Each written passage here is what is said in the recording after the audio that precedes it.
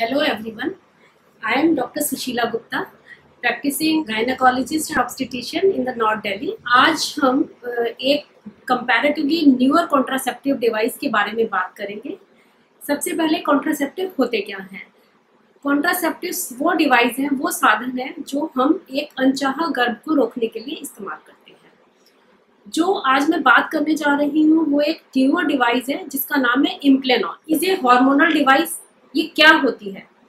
ये प्लास्टिक की soft flexible almost four centimetre long and इसका जो डायमीटर होता है वो सिर्फ़ टू मिलीमीटर होता है। और इसको अपर आर्म में लगाया जाता है। ये काफ़ी साधनों से बेटर हो सकती है, बेहतर साबित हो सकती है। कैसे बेहतर साबित हो सकती है? ये एक तो लॉन्ग टर्म प्लान है। ये तीन साल के लिए काम करती है। एक रिवर्सिबल है। जब भी हम इसको रिमूव करते हैं तो फर्टिलिटी वापस आ जाती है within almost within a month और इसके साथ में आपको डेली डेली टैबलेट खाने की टेंशन नहीं है किसी तरह की। इसके कंपैरेटिवली साइड इफ़ेक्ट्स भी कम हैं।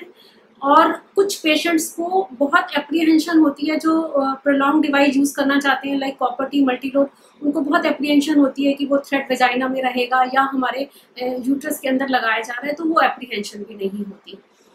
तो इसके अगर हम देखा जाए तो साइड इफ़ेक्ट्स क्या क्या हैं? सबसे ज़्यादा पेशेंट्स को सबसे ज़्यादा चिंता ये होती है कि कोई भी डिवाइस यूज़ करने से साइड इफ़ेक्ट्स क्या क्या होती है। इसके कंपैरेटिवली साइड इफ़ेक्ट्स कम हैं।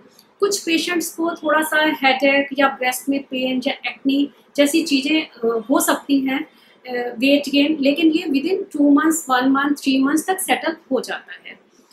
कुछ पेशेंट्स को जो लोकल साइट पे जहाँ हम इम्प्लांट करते हैं, वहाँ पे कुछ पेन ब्रूजिंग या हल्की सी स्वेलिंग होने के चांसेस होते हैं बट वो भी हफ़्ते दस दिन में ऑलमोस्ट सेटल हो जाता है। इसका जो सबसे ज़्यादा यूजफुल पार्ट है, वो ये है कि इसकी एफिकेसी बहुत ज़्यादा है ऑलमोस्ट 99 टू नाइन परसेंट इसकी एफिकेसी है, और इसके कंपैरेटिवली साइड इफ़ेक्ट्स भी कम हैं, और अगर हम देखा जाए तो इसमें जो बहुत सारे पेशेंट्स को पेनफुल मैस्ट्रेशन होता है पेन होता है या ब्लीडिंग ज़्यादा होती है, उनमें भी इनको बेनिफिट मिलता है। उसमें पेनलेस इनके मैस्ट्रेशन हो जाते हैं पीरियड्स कम हो जाते हैं और बहुत सारे लोगों को पीरियड्स बंद भी हो जाते हैं और जब हम रिमूव करते हैं तो वापस आ जाते हैं। अब हमारा सवाल ये है कि कौन सी जगह है, कौन सी सिचुएशंस हैं जिनमें इनको नहीं लगाना चाहिए? तो एक तो सिचुएशन है प्रेगनेंसी हमें हमेशा प्रेगनेंसी रूल आउट करना चाहिए। प्रेगनेंसी में कोई भी कॉन्ट्रासेप्टिव डिवाइस ये इस तरह की नहीं यूज़ करनी चाहिए। दूसरी चीज़ होती है, अगर किसी पेशेंट्स को बहुत सारा सीवियर लीवर डिज़ीज़ डिसऑर्डर है, या किसी तरह की वेजाइनल ब्लीडिंग ही ऑलरेडी इरेगुलर टाइप की चल रही है तो पहले हमें वेजाइनल ब्लीडिंग वाले पार्ट को ट्रीट करना चाहिए, उसको समझना चाहिए। या जो पेशेंट्स हमारे को हिस्ट्री देते हैं कार्सिनोमा ब्रेस्ट की, उन वाले पेशेंट्स में इसको नहीं लगाना चाहिए। अब सवाल ये उठता है कि इसको लगाया कैसे जाता है? इसके लगाने की बहुत सिंपल टेक्निक है ऑल लेकिन फिर भी मैं ये कहूँगी कि जो इसको लगाने में रजिस्टर्ड हैं, इस डिवाइस को लगाने के लिए रजिस्टर्ड है और क्वालिफाइड है, उन्हीं गायनोकोलॉजिस्ट से इसको लगवाना चाहिए। अब लगाने के लिए हमें बहुत सिंपल सा प्रोसीजर है, लेकिन इसको स्टेराइल एसेप्टिक टेक्निक से लगाया जाता है। सबसे पहले पेशेंट को सारा डिटेल इसके बारे में समझाया जाता है कंसेंट ली जाती है। उसके बाद उसको हमें लोकल एरिया को स्टेरलाइज करते हैं एसेप्टिक सोल्यूशन से वॉल क्लीन करते हैं और ये श्योर करते हैं कि जो भी हम एसेप्टिक यूज़ करने जा रहे हैं पेशेंट को उस चीज़ से, उस एसेप्टिक से कोई एलर्जी नहीं होनी चाहिए। फिर आम को फ्लक्स करके एक पोजीशन बनाते हैं, आम को फ्लक्स करके जो हमारा एक प्रॉपर इसका जो साइट है, जहाँ पे हम इम्प्लांट करना है, वो जगह को पहले चूज़ करते हैं। इसको हमें अपर आर्म में और इनर साइड की तरफ़ से लगाया जाता है। एक अगर एल्बो को फ्लेक्स करेंगे तो आप एक बोनी प्रोमिनेंस फील करेंगे। एक मीडियल एपिकोंडाइल होता है, जो हम, हमारा अनाटमिकल स्ट्रक्चर है। मीडियल एपिकोंडाइल के 8 टू 10 सेंटीमीटर ऊपर एक अंदर इनर साइड पे एक हम मार्क बनाएँगे। ये जो मार्क होगा हमारा और ये जो मार्क बनाया जाता है ये भी हमें स्टेराइल मार्कर होते हैं उनसे मार्क बनाते हैं। मार्क बन, जो ये हमारा मार्क होगा ये हमारा एंट्री पॉइंट होगा। और इसके ऊपर फोर सेंटीमीटर ऊपर एक और मार्क बनाएँगे वो हमारा एक गाइड पॉइंट होगा। अब ये वाले एरिया को हमने हम ऑलरेडी इसको इस, इस, कर चुके हैं और स्टराइल ड्रेप से हम कवर कर चुके हैं। इसके बाद हमने मार्क लगा लिया है कि कहाँ पे हमें लगाना है।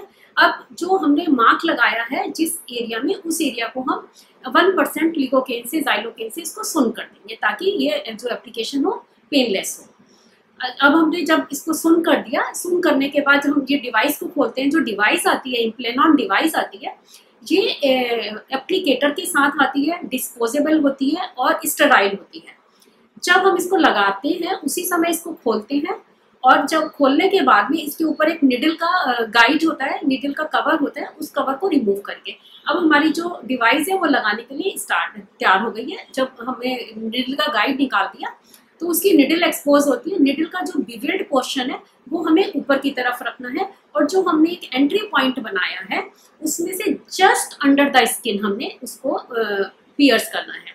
और it is applied just under the skin कि उसके बाद में पेशेंट खुद भी फील कर सकती है कि ये हमारी डिवाइस यहाँ पे लगी हुई है। जो एंट्री पॉइंट से हमने और जो हमारा गाइड पॉइंट था, वहाँ तक हमने पूरे डिवाइस के पोर्शन को अंदर इंसर्ट कर दिया। जब हमने उसके पूरे पोर्शन को, हमने जस्ट अंडर द स्किन उसको इंसर्ट कर दिया, उसके बाद हम डिवाइस को डिसलॉच करेंगे।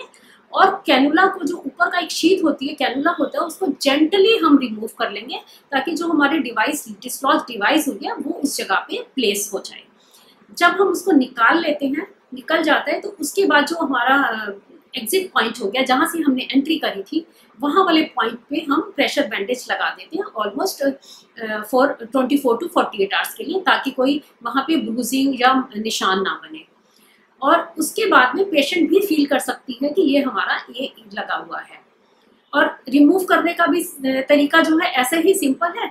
जब हमें रिमूव करना होता है या तो तीन साल बाद रिमूव करते हैं जब इसकी एफिकेसी खत्म हो जाती है, या अगर उससे पहले पेशेंट को किसी वजह से कोई प्रेगनेंसी चाहिए, उसको कॉन्ट्रासेप्शन नहीं चाहिए तो इसको रिमूव कर सकते हैं। रिमूव करने के लिए भी वो हम पहले फील करते हैं स्किन के नीचे कि जो हमारा जो एंट्री पॉइंट था, अब वो हमारा एग्जिट पॉइंट बन जाएगा।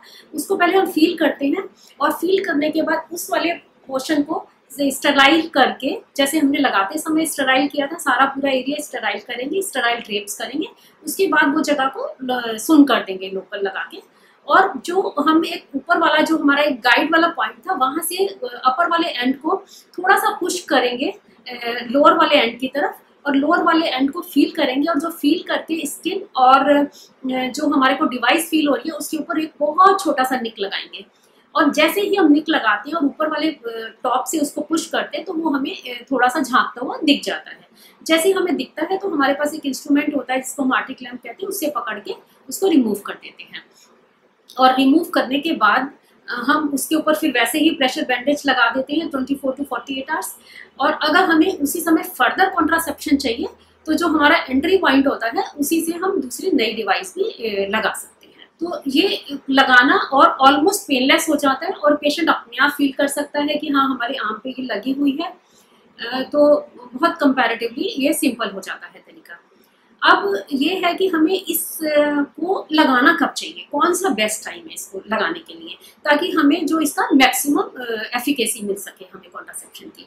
तो इसको लगाने के लिए अगर हम कहें जो पेशेंट मेंस्ट्रुएट कर रही है रेगुलर तो उसको अगर हम फ़र्स्ट टू फिफ्थ डे में इनिशियल फाइव डेज़ में, जिस दिन पीरियड स्टार्ट हुआ है, उसको फ़र्स्ट डे मान के इनिशियल फाइव डेज़ के अंदर अंदर हम लगाएँगे तो हमें इसका पूरा हमें एफिकेसी मिलेगी। और अगर किसी पेशेंट्स की डिलीवरी हुई है तो डिलीवरी के बाद ये तीन हफ़्ते बाद इक्कीसवें दिन से लेकर अट्ठाईसवें दिन के बीच में लगाया जा सकता है। सपोज़ किसी पेशेंट ने अबॉर्शन कराया है और उसको फिर ये कॉन्ट्रासेप्टिव डिवाइस लगानी है तो उसको भी जिस दिन हम अबॉर्शन करते हैं, उसके विद इन फाइव डेज़ अगर लगाते हैं तो ठीक रहता है। तो ये तो हमारे हैं रिकमेंडेड टाइमिंग्स लगाने के। अगर सपोज़ हम कोई रिकमेंडेड टाइमिंग के अलावा इसको लगाना चाहते हैं तो उसमें हमें इनिशियल सेवन डेज़ में ये हमें वर्क नहीं करेगा। तो हमें इनिशियल सेवन डेज़ के लिए पेशेंट को बताना पड़ेगा, या आपकी, आपको कोई और कॉन्ट्रासेप्टिव यूज़ करना है लाइक बैरियर मेथड और अगर सपोज़ उतने दिन के लिए आप एब्सटिनेंस रख रख पाएँ तो वो भी बेस्ट होगा। तो एट द एंड मैं ये बताना चाहूँगी कि ये जो न्यू डिवाइस है हार्मोनल डिवाइस है, लेकिन इसके अंदर जो हार्मोन है, वो सिर्फ़ प्रोजेस्ट्रॉन हार्मोन है। जो हमारी एक डिवाइस है, ये प्लास्टिक की, इसके ऊपर हार्मोन लगा होता है और वो डेली थोड़ा थोड़ा हार्मोन रिलीज़ करता रहता है। तो उसे थ्री ईयर्स तक ये हमारे यूज़ में रहता है। तो इसके जो हार्मोन है, वो खाली प्रोजेस्ट्रोजन हार्मोन है क्योंकि बहुत सारे साइड इफेक्ट्स ऐसे होते हैं जो इस्ट्रोजन हार्मोन की वजह से होते हैं। जैसे हमारी जो सीओसी होती है कॉन्ट्रासेप्टिव पिल्स होती हैं, उनमें हमारा इस्ट्रोजन प्रोजेस्ट्रॉन भी होता है। उनमें भी होती है ओनली प्रोजेस्ट्रॉन पिल्स जिन कंडीशंस में हमारे को इस्ट्रोजन कॉन्ट्रा इंडिकेटेड होता है तो उन कंडीशन में हम ओनली प्रोजेस्ट्रॉन पिल देते हैं। तो इसी तरह से ये भी प्रोजेस्ट्रोजन डिवाइस है तो वो वाले सारे कंडीशन से उनमें लगा सकते हैं। और एक बहुत बड़ा फ़ायदा ये है कि जो आजकल जैसे बहुत सारे पेशेंट्स से शादी करते हैं, लेकिन शादी के बाद फ़र्स्ट प्रेगनेंसी को ही डिले करना चाहते हैं। लाइक फ़र्स्ट कंसेप्शन ही नहीं चाहते, वो करियर ओरिएंटेड हैं या किसी भी वजह से डिले करना चाहते हैं। तो और वो ये भी नहीं चाहते कि हम इंट्रा यूट्राइन डिवाइस को यूज़ करें या क्योंकि लंबा समय उनको अवॉइड करना होता है कि भाई थ्री फोर ईयर्स तक हम पिल्स खाएँ, ये भी उनको एक्सेप्टेबल नहीं होता। तो उन लोगों के लिए, मैंने देखा है कि ये बहुत यूज़फुल है और पर्टिकुलर उन पेशेंट्स में इसकी एक्सेप्टेंस भी बहुत ज़्यादा है। थैंक यू सो मच उम्मीद है आपको मेरा ये वीडियो पसंद आएगा। Thank you